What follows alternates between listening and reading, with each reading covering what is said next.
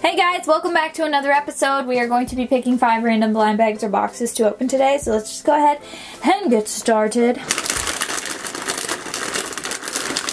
We have a Roblox Series 1 figure, and we have the Disney Princess Figure key rings.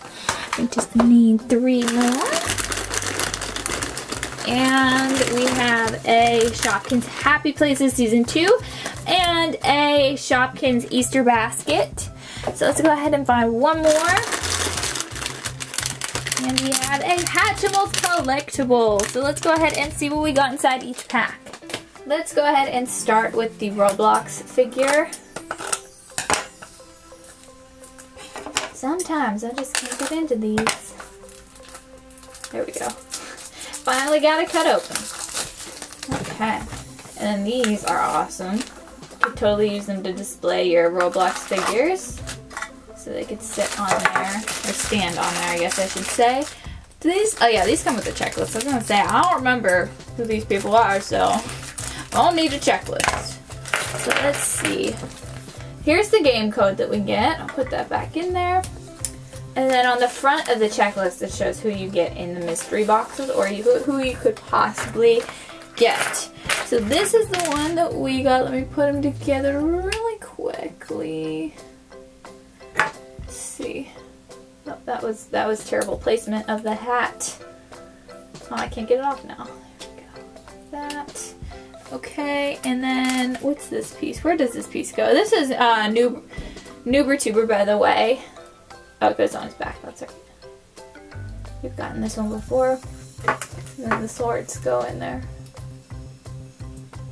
Like that. I love this this part of this this one so awesome. And then you can totally stick him on here. Roblox figures are very posable as well. They bend at the knees and everything. Fun! Let's go ahead and open the Disney Figural Keyring Series 9. Let's see. Oh, these are the ones you can collect, by the way. And we have Cinderella! Aw, she's cute. She is super cute. A lot of them are holding things. You know, uh, Rapunzel's holding her frying pan, Ariel's holding her sidekick. Cinderella's the only one not really holding anything. She's just holding up her dress. Still super cute. I love her face. She looks so excited. Awesome. Alright, let's go ahead and open the this thing. What are these? the Shopkins Easter basket. I know you guys are so tired of seeing Shopkins, but honestly, my whole bottom of my box is filled with Shopkins, so you haven't seen the last of them yet.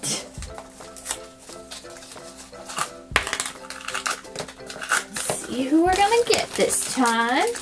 This one's flat, like Bonnie or Buttercup. Buttercup. Betsy Buttercup. Why does this look so blurry? Gotta focus that. Alright, and then the other one probably Googie. It kind of feels like it. Yep. Woo! Love Googie. Alright, let's go ahead and open the Happy Places Season 2. I want some patio stuff. I love the patio.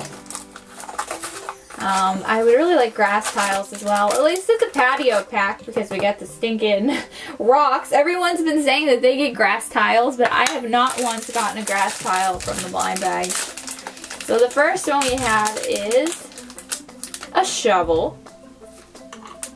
The next one we have is a, a, a shovel holder. I don't know. Let's get the other one out.